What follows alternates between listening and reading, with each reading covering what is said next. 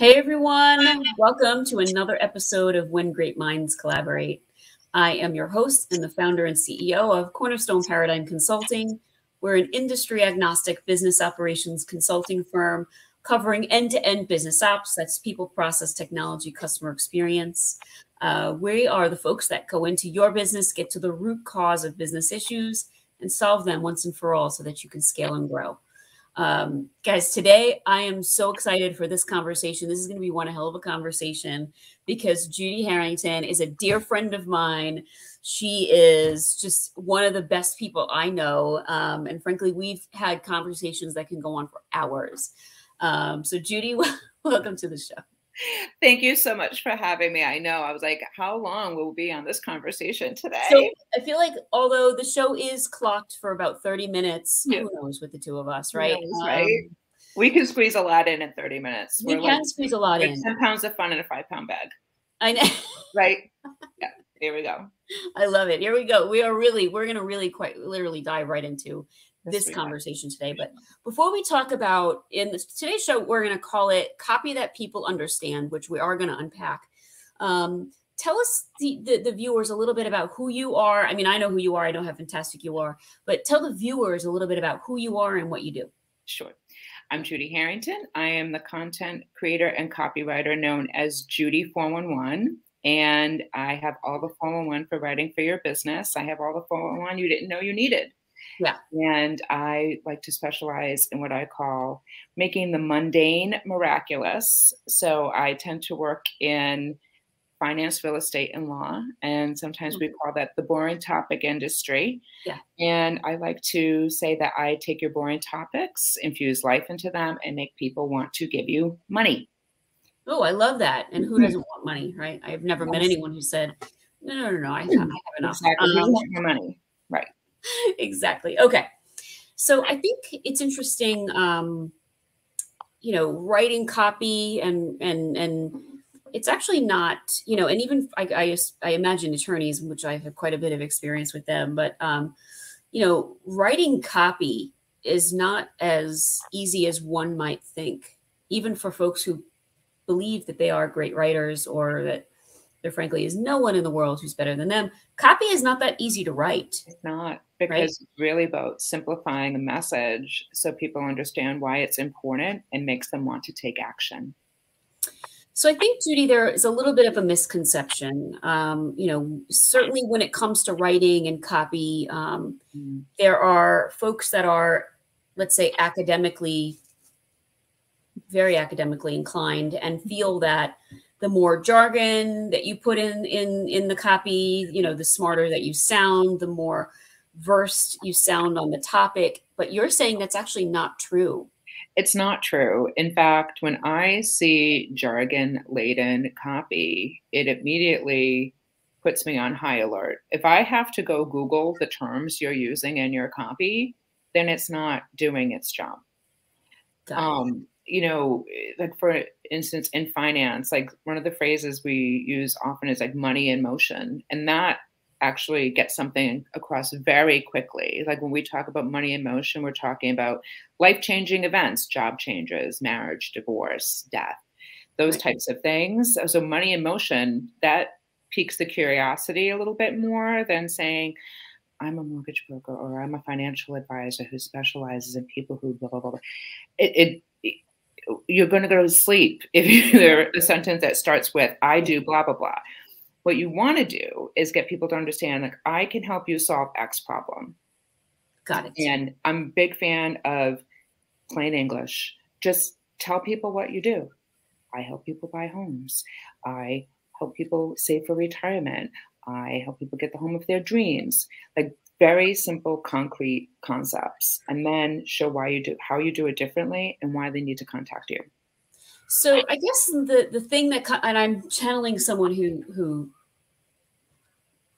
I had a an interesting conversation with about this, and they would say to you, and I wonder what your response would be. So now I'm going to just ask you live on the show.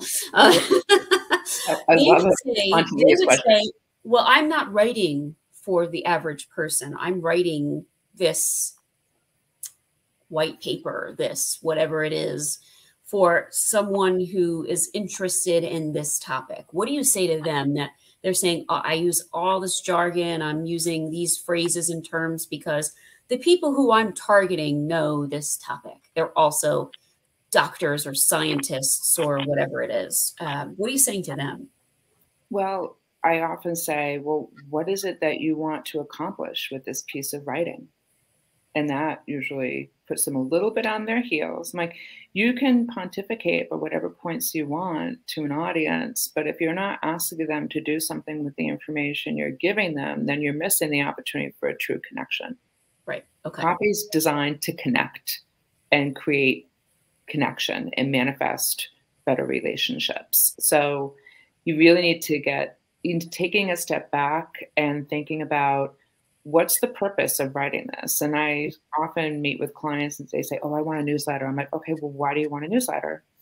And sometimes like, well, everybody's doing it. I'm like, yeah, but do you need to do it? Like, what do you want to accomplish with this newsletter? Is it that you're looking to promote a new line of services? Are you looking to leverage relationships with your existing clients? Is this part of a lead magnet that's uh, as part of your website? Like, there's so much more that goes into it and you need to really think about it from the 30,000 foot view first and then zone in on what the message is that you want to convey and the result that you're looking for. Because yeah. marketing without results is just screaming into the tide.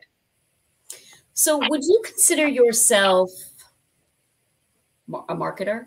I consider myself a marketer. I'm part yes. of, I'd like to think of myself as part of a marketing team. So, a lot of times I collaborate with website designers or branding experts to be yeah. a piece of the puzzle.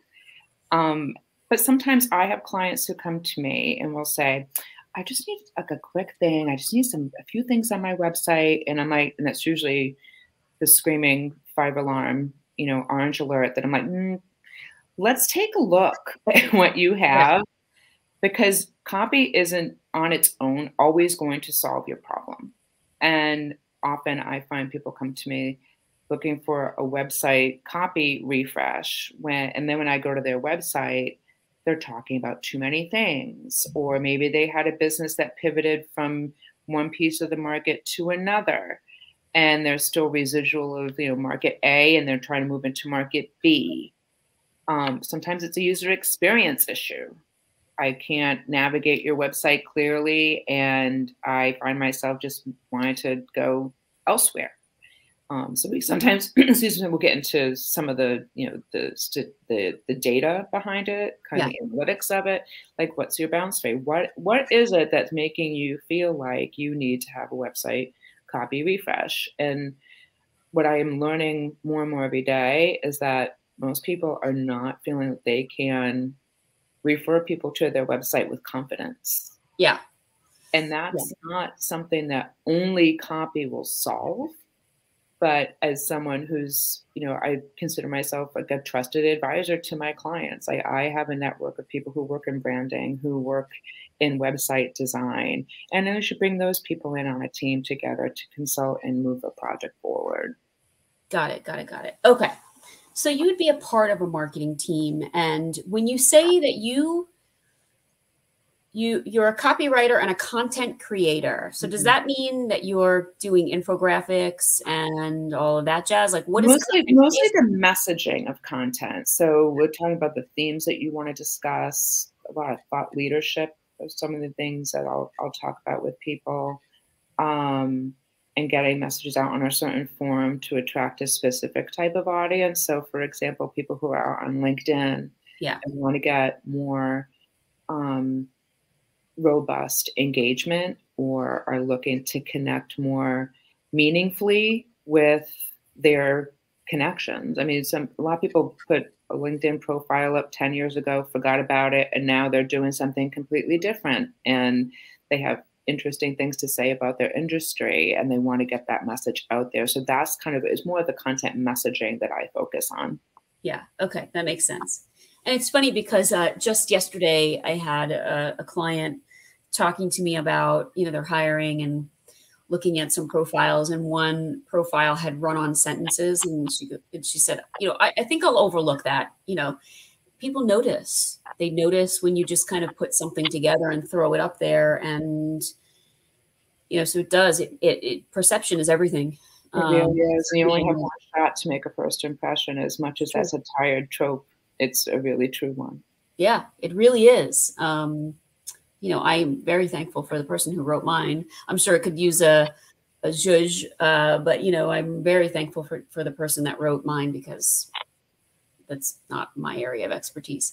Okay, so you say that you write copy that make people give your clients money. What does that mean? So is someone going to see this and say, "Oh, Judi's going to write me some some great blogs, some great copy," and everyone is just going to come to me with a handful of money and say, "Here you go. Thank you so much." Well, it's not going to be immediate. Content is definitely a longer game, but mm-hmm. What I like to focus on, for here's a great example for like in the newsletter community. Like I'm a big fan of, well, I believe that social media is certainly a piece of your marketing where I think a lot of business owners overlook are the power of newsletters and email campaigns to your existing audience. So like talk to the converted, right? People who yeah. already know, like, and trust you. So one example of this is in um, commercial insurance. Now, everybody's now probably like ready to go take a nap. I'm telling you, this is exciting stuff. So I worked with a commercial insurance agent to kind of highlight the success stories of what it's like when you have a claim and when it goes right and you get paid for it um, something when you're a business owner, something's going to go wrong someday. If you don't have the right coverage, you're going to be on the hook for it. Yeah. So we highlighted um, different success stories of clients who had proper coverage, and when this issue came up, they were able to get reimbursed. They were able to get covered by their insurance company. And we also managed to highlight different aspects. This particular insurer, you know, did commercial insurance, but they also did personal and casualty which a lot of their existing customers didn't know. So oh. this gets into like letting people know, like sometimes clients come to you for like one particular kind of service. Yeah. But they don't necessarily know that you have several others. And I see this a lot with business owners. They're like, you know, people didn't know I did X, Y, Z. I'm like, because you yeah. don't mention it on your website anywhere. Right. Right. Like people are, are not mind readers, right? We're only as good as the information we share. And so, even, you're saying even the folks that believe that they're sharing all of this information, it may not be clear. It may be clear to them, but not to the, the person on the receiving end.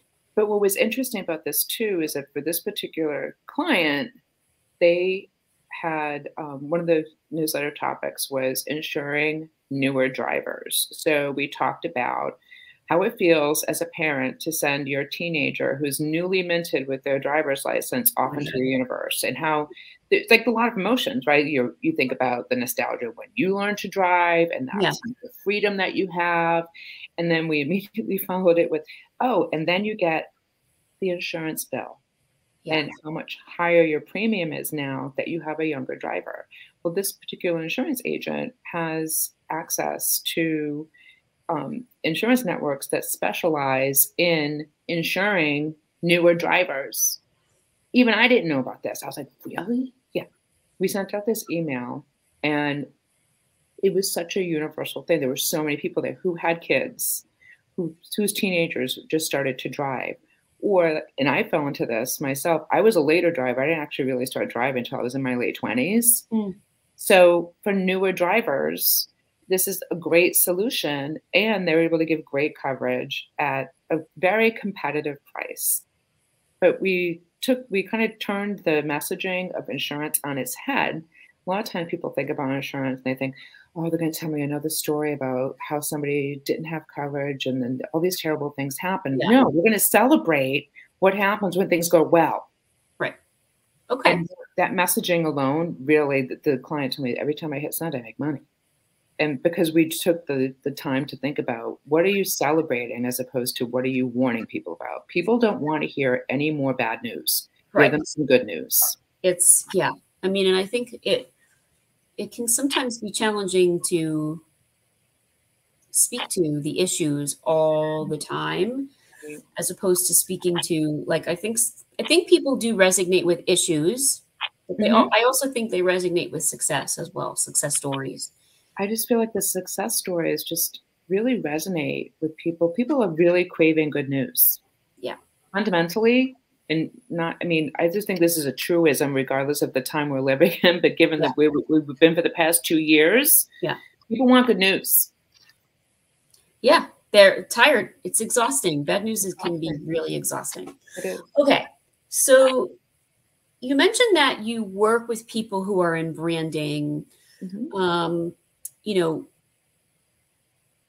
I feel like sometimes people are looking for an all in one. They're looking for someone to help them with branding and marketing and messaging and writing and, you know, painting the house. And like they just want all that one stop shop. One person to kind of do everything. And, and you're saying it actually doesn't really work like that. Well, I mean, I find that collaborating with some of these folks really brings a different flavor to things, especially because I work in and I specialize in finance, real estate, law, transactional type of relationships. Yeah. Um, I'm not the person for you know a retail website probably not the best fit for that like i know like i know where my lane is i know where my zone of genius is um, but what I find that is like working with these agencies as a collaborator, then when they have a product that fits my niche, I'm the person that comes to mind because it's not often you find a copywriter who can talk about mutual funds and, yeah. and who can talk about complex business relationships, like even the type of work that you do, like getting into the details and getting people to understand like operations and really get into the nitty gritty and share a case study of how you dove into the data, found out where the inefficiencies were, and then fix them and then develop the data, which is very fun. I have Judi, I have clients that I've had for years mm-hmm. that still couldn't articulate what I do. They just know that if they don't know how to do it, it's the answer is to call me. Yeah. Which is very funny. Like quite literally, that's how they describe I don't I don't know. Call Amanda. Like that. That's Amanda will know. Yeah. She'll know. It's funny because I'm that person too. People like, um, I don't know about such and such, but I bet Judi knows. Yeah. And and no, nine times out of ten, I do know. Yeah. I know someone who it's does it. I know someone who who's an expert in such and such a field. Like people come to me, do you know a yeast biologist? I'm like, yeah, I know two of them. Yeah. I know. I know how I know. I know these things. I just know them. I know. Yeah. we have the same same same gift, I suppose. Yes, so, do. Do. so I think it's very interesting what you do, and we're going to talk about the book. I call it in a the second. book. In a second. The Um, really, what you do, I think it, it is a gift, frankly, because uh, we've worked with copywriters on my website, and don't judge it. We're in the process of doing it over. Um, it's it's. I say this all the time, right? What did I say to you? Yeah. I don't judge. I'm like the planet fitness. I mean, that you could and should. Right. Is what I'm, I'm saying. Like this is the no judgment zone. Yeah. Yeah, like, you could and should. I'm gonna get, I'm gonna get more um what is it, more flies with honey than vinegar. Um, yeah, this is gonna be vinegar. No, I mean I, I know it's bad. I, I I know. I'm so aware. I'm in the process of we're in the process of doing it over. Mm-hmm. Um, but there's really a and, and we've worked with copywriters, frankly, in the past, um, several. Um, and you know, even someone like myself who does not specialize in this area and a lot of what we do is very technical and mm-hmm. process mapping and technology stack mapping and there's only so so much sexy you can inject in it right? It's really not sexy. It's not you know there's it's this not. is not a justin timberlake moment. No it's not. Um, but there are ways to show why it's important.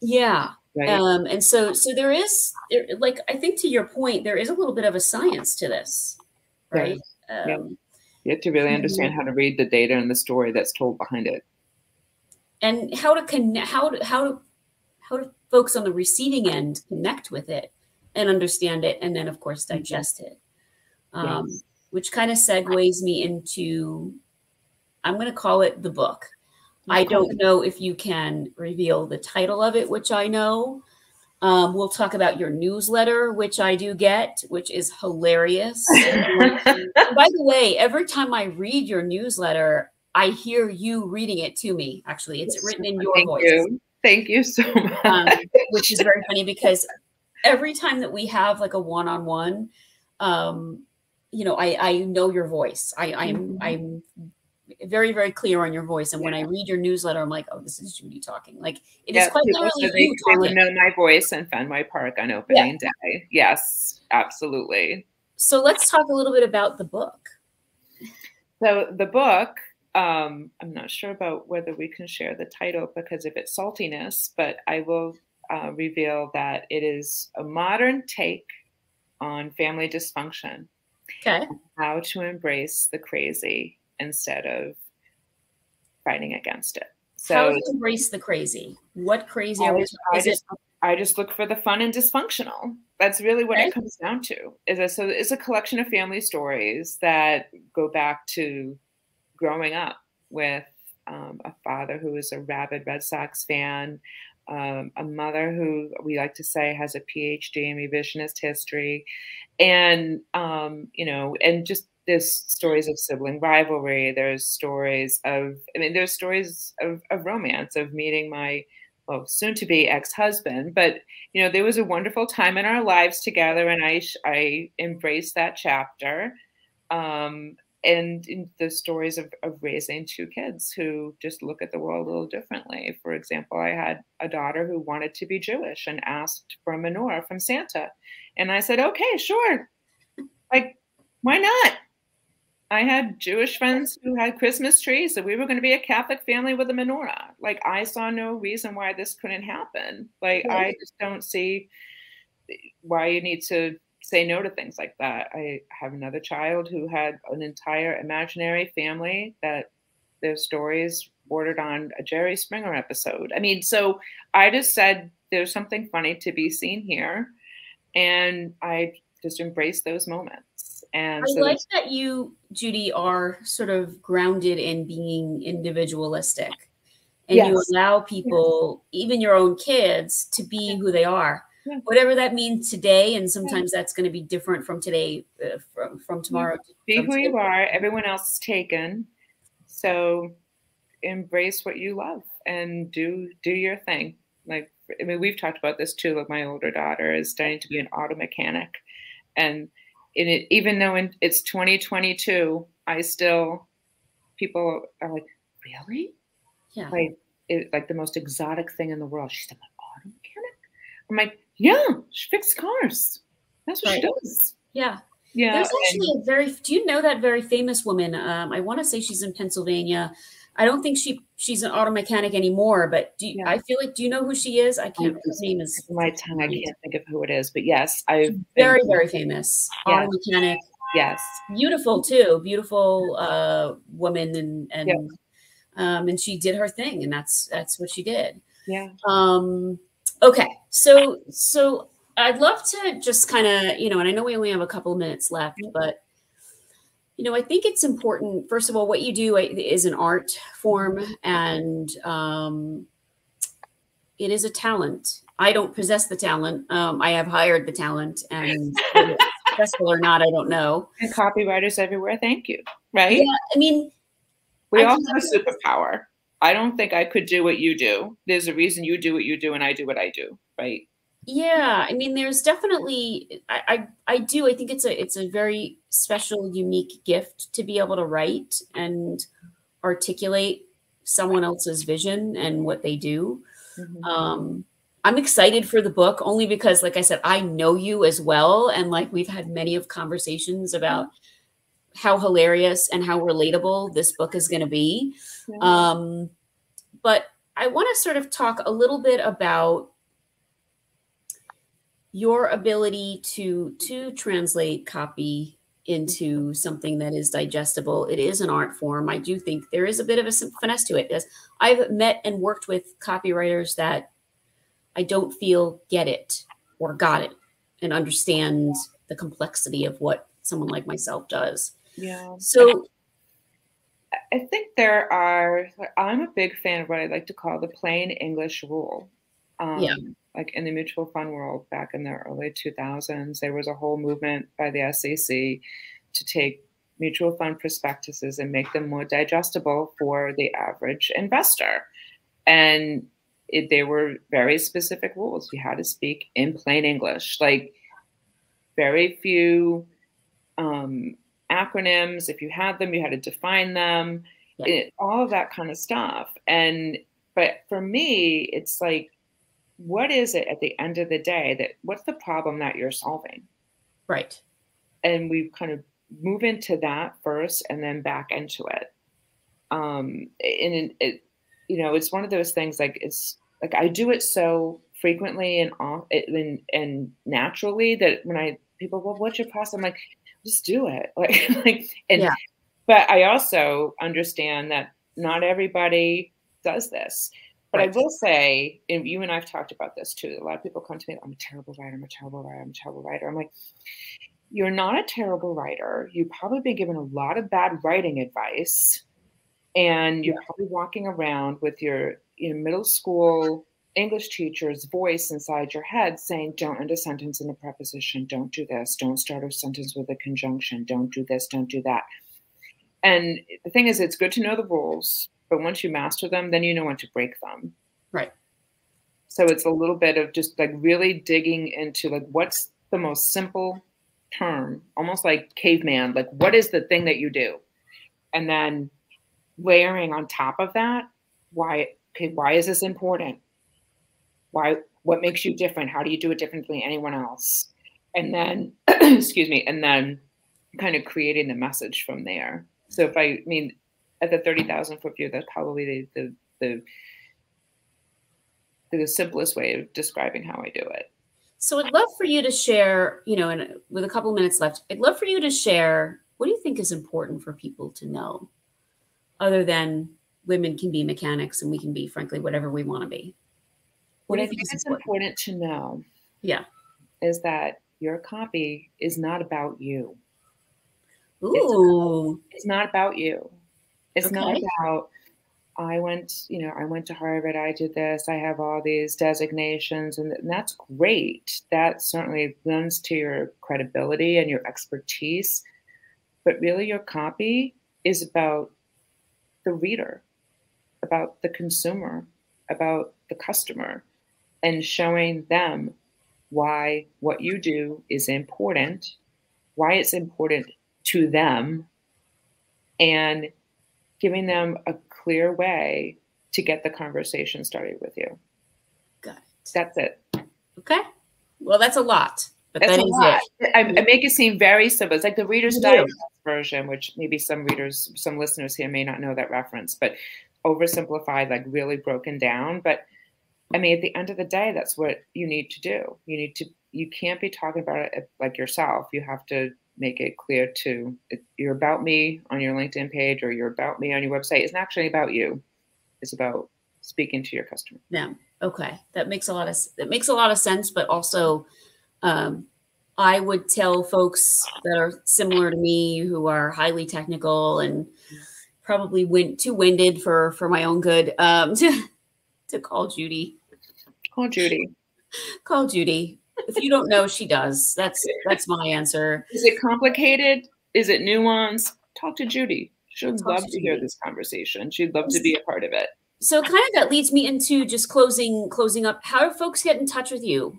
You know, if they're thinking, gosh, I, I need this woman in my life, which you do, by the way. Thank you. Thank you. The How do folks get in touch with you? The best way to reach me is through my website, judi411.com, J U D I 411.com. Okay. And um, you'll see the interesting story of how I adopted that name, but it basically comes down to I'm a walking information booth um, nice. of things that are going on in the world. And I marry that with my love of writing and getting a message across. But and there's a contact form on there, or you can email me at judi at judi411.com. And what about LinkedIn? LinkedIn. I'm LinkedIn. on LinkedIn as well. Judi you come up on LinkedIn. Yeah, I'm on LinkedIn too. I'm out there, out in the interwebs. I'm on Facebook and Instagram as well. But for this market, I mean, I find that the most traction I get is on LinkedIn. I mean, LinkedIn. It's, yeah, more of um, you know, Instagram and Facebook are kind of like the fun um, you know, water cooler conversation, which I'm, are we even going to have water coolers anymore now that we're back in the office? Like, I don't know. There's so many things that are going to go away. I'm just really curious about yeah. that. But um, it's kind of like us saying fax machine to a millennial or a Gen X. It is. It's like, like what's, what's a, a fax machine? What's a water cooler? It's yeah, that's gonna that's what's gonna happen. What's, what's, a water cooler? Yeah, that's what's very a water scary. Cooler, right? So. Um, yeah. yeah. So your virtual water cooler or your uh but yeah. no, follow her on on LinkedIn. I highly encourage you to connect with Judi. She is fantastic. She's a fantastic person in general. Um, you know, don't blame me when you have too much fun on that phone call when you connect with Judi. Um, no, she's great, and um, and I always love every conversation we have. we always uh, have the best conversation. This is another one, another one for the books. This is another one for the books. It's true. That is so true. Yeah. But Judi, I thank you so much for being on the show today. Uh, thank you for having me. It's such a great honor. I appreciate you. I love that you can make some sense out of copy. It is a lot harder, I think, than folks frankly realize. Um, I certainly know how challenging it is. Mm-hmm. Um, to get the message across. And Lastly, your book. Where can people get your book when it comes out? You said it comes out in October? It's coming out in October. There is an author website that has not launched yet, but it will be very simple to find judiharrington.com. Okay, I love that. and maybe we'll have you back on, I would love to when it comes out. Um, like I said, I know the title. Um, nope. I find you hilarious. I because I know you. I also know you personally. Um, but I think we may have to have you on the show again to talk about your. You want to laugh until milk comes out your nose. Okay. Then read my. Book. I love it. I love it. Anyways, Judi, this was so much fun. Thank you for being on the show. Uh, love this. You are coming on again when the book gets published. We need to tell people how to yeah. get it. I'm here to threaten you all with a good time again. Oh my God, it's so and you are hilarious. I love you. You are so hilarious. Thank you, and I um, we thank everyone for joining us today. We will see you right here next week, 2 p.m. Eastern Standard Time on Facebook, LinkedIn, YouTube, and CPC TV. We'll see you next week. Thanks so much. Thanks so Bye. much.